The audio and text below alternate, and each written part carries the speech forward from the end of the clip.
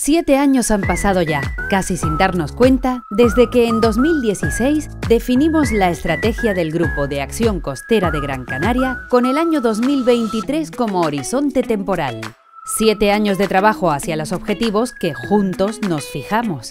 Promover la cohesión y el desarrollo económico, social, ambiental y patrimonial de forma sostenible y colaborativa en la zona costera de Gran Canaria, generando riqueza y empleo. La financiación para lograrlos ha superado los 2 millones de euros, de los que el 66% fueron para financiar proyectos y el 34% restante para gastos estructurales y de dinamización.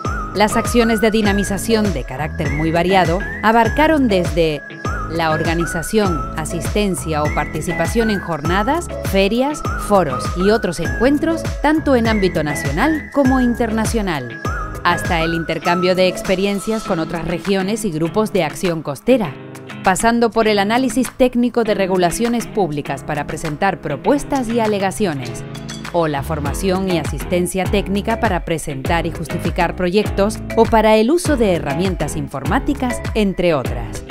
Respecto a los proyectos, de las 64 propuestas recibidas en las tres convocatorias del periodo, se subvencionaron 28, el 65% de iniciativa privada, con el sector pesquero y acuícola como beneficiarios en 11 de ellos, y en 7 para otros sectores.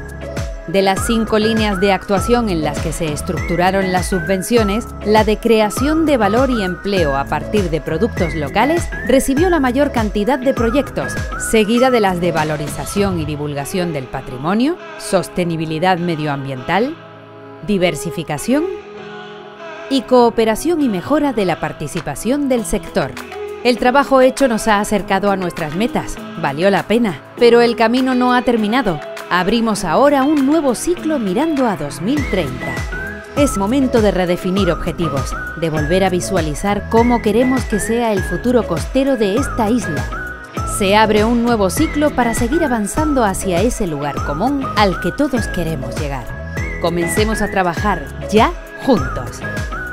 Grupo de Acción Costera de Gran Canaria, navegando juntos por el desarrollo costero de la isla.